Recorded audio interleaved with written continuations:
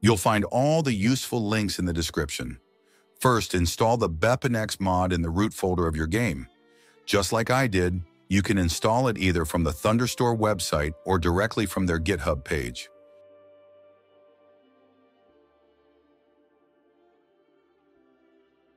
Next, go to the GitHub link in the description and download the BepInEx Photon.dll file.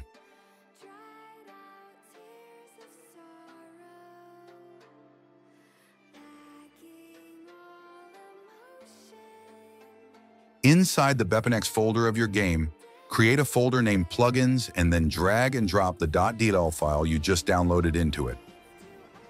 Now launch the game once. If you see a red No App ID error in the console, that's actually a good sign. It means everything has been installed correctly. You can now close the game.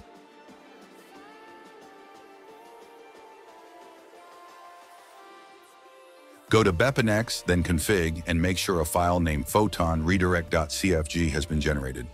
Next, we're going to follow the instructions from the GitHub page to create a Photon application. Head over to the Photon Engine website and create an account. You can use your personal email or a temporary one like I did in the video.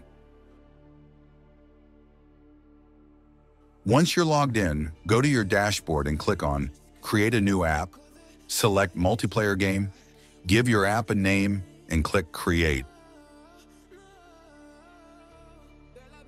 Once your app is created, double-click on the app ID to copy it. Keep in mind that your friends will need to use the exact same app ID in order to play with you. Go back to your game's root folder, then into BepInEx config, open the photonredirect.cfg file, and paste your app ID in the designated area. If you're using the online Fix Me Crack, there's one additional step. Go back to the GitHub page, scroll all the way down to the Notes section, and copy the text as shown in the video. Then return once again to your game's root folder, open the Dallas.txt file, paste the copied text, save the file, and close it. You can now play modded multiplayer with your friends. All you need to do is add more mods into the plugins folder. If you run into any issues or have questions about the mod, don't hesitate to join the Discord linked in the description. You'll find a helpful FAQ there with common problems and solutions and people ready to help. One last thing, you can create a full archive of your repo folder with all the mods and config files already set up. That way, your friends won't need to repeat all these steps. They'll just extract the archive and launch the game.